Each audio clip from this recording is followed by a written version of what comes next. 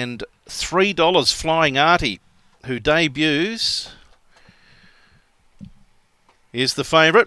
Lures on its way, first at Angle Park. 342, off they go, and Big Row sprung into action quickly. Flying Artie's joining in, Big Row Flying Artie, and they are followed then by, as they head off the back, Todd's Luca, and then deeper out Radiant Glow with Lily Sky High and Mari Girl, but up to the home corner, and Flying Artie took over and raced away. Flying Artie by a good space over Radiant Glow, and Lily Sky High got going to run third. Then Big Row, Todd's Luca, and Mari Girl in a time of 19.75.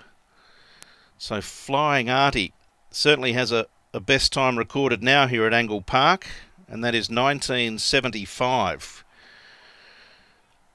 Sectionals 457, 776, run home in 1199. And the overall time 1975 after race one. So $272 on UTAB the winner, 180 for second, no third, Lily Sky High. It's 5782. Big Row, who led them early, is fourth, 5782 after race one. And the winning margin is substantial, five and a half by a length and a half. Five and a half by a length and a half, 5782. Race one, we stand by for the all clear.